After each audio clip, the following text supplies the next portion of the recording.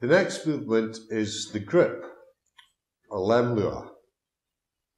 It can be played from E, high G, and high A.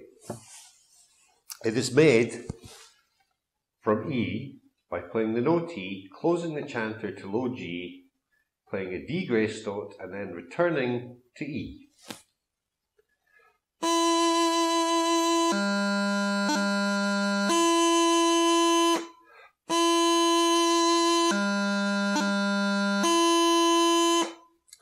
and from high G, as in the tutor book.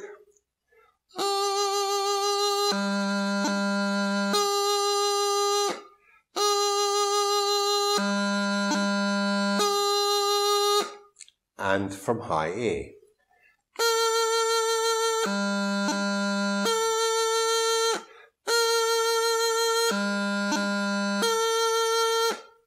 It's most important in all of these movements to make sure that the fingers move together in concert to close low G and then the D grace note's made and the fingers all move together to make the new note.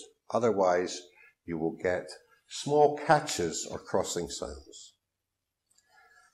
The movement after this is a very important movement called the Taorluath movement.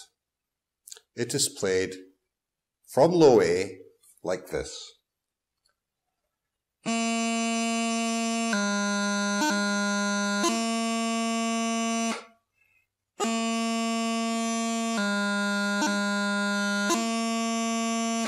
And is quite simply low A followed by low G, D grace note, and then a clean E grace note back to low A.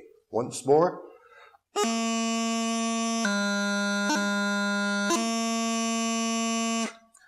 This can also be played from the note B.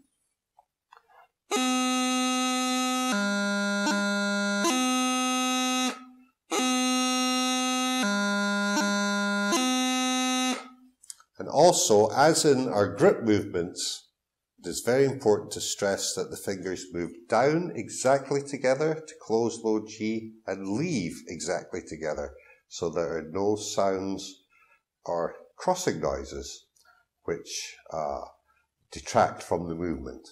Once more from B.